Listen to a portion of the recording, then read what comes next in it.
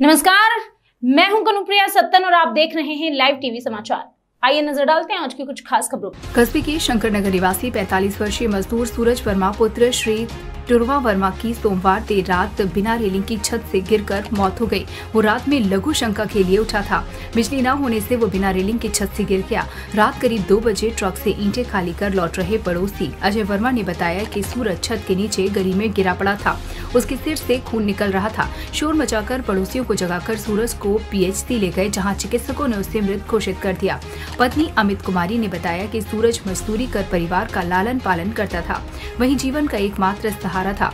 सोमवार को वो अपने चारों बच्चों के साथ मुगुस गाँव बहन की बेटी की गोद भराई कार्यक्रम में गई थी।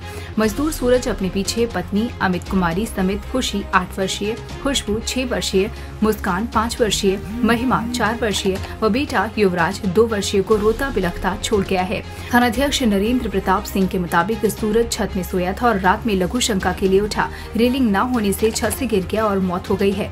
पोस्टमार्टम के लिए शव भेजा जा रहा है। संदिग्ध पहलू सामने आया तो मामला दर्ज कर कार्रवाई की जाएगी।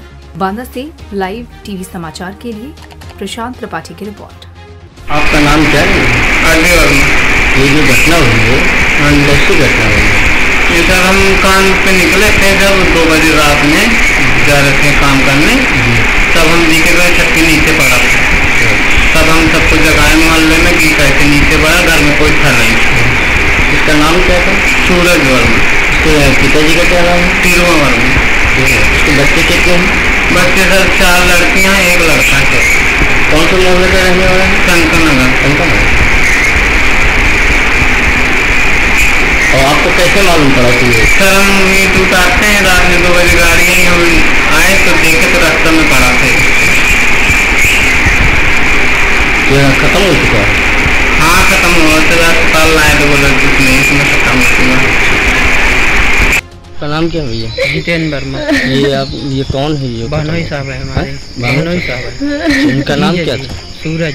सूरज। इनके पिताजी का क्या नाम धुआँ किस मोहल्ले के रहने वाले हैं? चंदवाड़ी शंकर नगर शंकर नगर आप इनके कौन लगते हैं?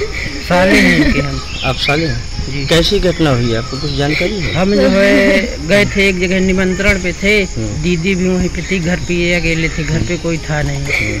तो रात हो गई तो इसी कारण इन्होंने फ़ोन किया था कि अगर समय न रह जाए तो ना आना। फिर रुक गए हम वहीं है दीदी वहीं रुक गई। उसके बाद जो है हमें रात में करीबन दो या ढाई बजे के में कब खबर आई हम्म, कि ये छत से गिर गए हैं। अच्छा। तब हम वहाँ तत्काल आए घर। जब देखा तो ये सब हो गया इनके बच्चे कितने हैं? चार लड़कियाँ हैं एक लड़का है।